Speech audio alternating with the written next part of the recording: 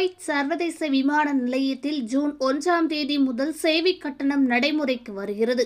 Kuwait சர்வதேச விமான நிலையத்தில் வருகின்ற பயணிகளுக்காக முன்னர் நிர்ணயம் செய்யப்பட்ட சேவை கட்டணமானது ஜூன் ஒன்றாம் தேதி முதல் நடைமுறைக்கு வருகிறது. விமான நிலையத்திலிருந்து புறப்படும் பயணிகளுக்கு மூன்று தினாரும் மற்றும் வெளிநாடுகளிலிருந்து குவைத்திற்குள் நுழையும் பயணிகளுக்கு இரண்டு தினாரும் கட்டணம் வசூலிக்கப்படும். இதன் மூலம் ஆண்டுக்கு அறுநூறு மில்லியன் தினார்கள் குவைத் அரசின் பொது கருவூலத்திற்கு நிதியாக சேரும் என்றும் குறிப்பிடப்பட்டுள்ளது.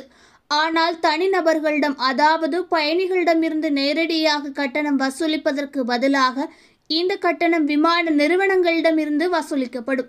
எனவே பயணிகள் விமான பயணச்சீட்டு முன்பதிவு செய்யும் நேரத்தில் விமான நிறுவனங்களுக்கும் அத்துடன் சேர்ந்து அந்த கட்டணத்தை வசூலிப்பார்கள் என்று தெரிவித்துள்ளது. கடந்த வருடம் இது தொடர்பாக தீர்மானம் பாராளுமன்றத்தில் விவாதிக்கப்பட்ட நேரத்தில் விமான பயணிகளிடமிருந்து கட்டணம் வசூலிக்க தீர்மானிக்கப்பட்ட செய்தியானது குவை தினசரி நாளிதழில் வெளிவந்துள்ளது என்பதும் குறிப்பிடத்தக்கது. ஓகே ஃப்ரெண்ட்ஸ் இது போன்ற நியூஸ்களை உடனுக்குடன் தெரிந்து கொள்ள எங்கள் ரேஸ் தமிழ் சேனலை லைக் பண்ணுங்கள் ஷேர் பண்ணுங்கள் கமெண்ட் பண்ணுங்கள் மறக்காமல் சப்ஸ்கிரைப் பண்ணுங்கள்